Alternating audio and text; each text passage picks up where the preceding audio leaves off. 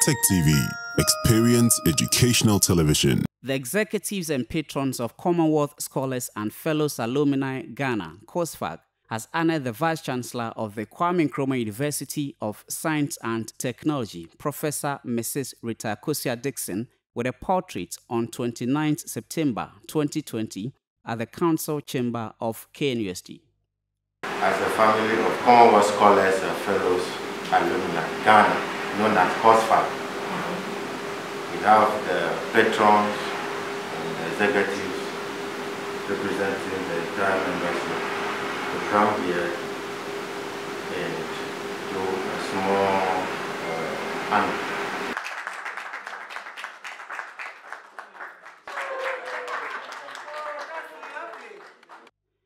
According to the executives, this is to express their delight on the achievement of their fellow scholar and a past patron, Professor Rita Dickson, on her appointment as VC of KNUST. COSFAG aims to collaborate and contribute ideas and resources towards economic development of Ghana through youth empowerment, community development, and education. Professor Mrs. Rita Akosua Dickson expressed her sincere gratitude to the members of COSFAG. It is our vision, and because it's our vision, it means it's an all hands on deck approach to achieving the set objectives. We have about eight pillars to the vision. Every pillar um, has um, a core um, group that is coming out with um, an action plan because you can say all those um, give all those PowerPoints, but if we don't have a very strong and workable action plan backed by a performance matrix so that we can all from time to time check and see. We said we would do ABC, have we? We said that has to be done within this time frame, have we? The immediate past president of COSFAG, a senior lecturer at the Department of Food Science Technology in KNUST, PhD Jacob Agbanyevi interacted with TEK TV News. So we have this network that uh, serves as a body mobilizing the human resource for social and economic development. So we undertake various activities such as uh, youth mentorship, education, and policy programs.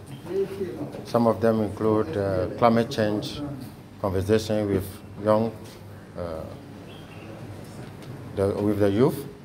We had programs like basic life support training for those in secondary schools. The current president of COSFAG and a lecturer at the Department of Sociology and Social Work, in an interview with TEK TV News, indicated that the association was going to embark on training national service personnel to educate them on scholarship opportunities in the Commonwealth Scholarship Commission. Okay, this scholarship, the shared scholarship, we have various platforms. We have the shared scholarship, which is available to all undergraduates, people who graduated from their first degrees.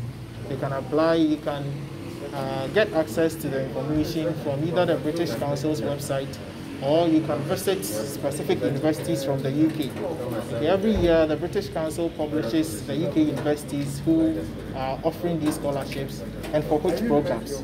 Usually, they offer the scholarships for specific programs. So you have to make sure that you know which universities you're applying to and which programs are available.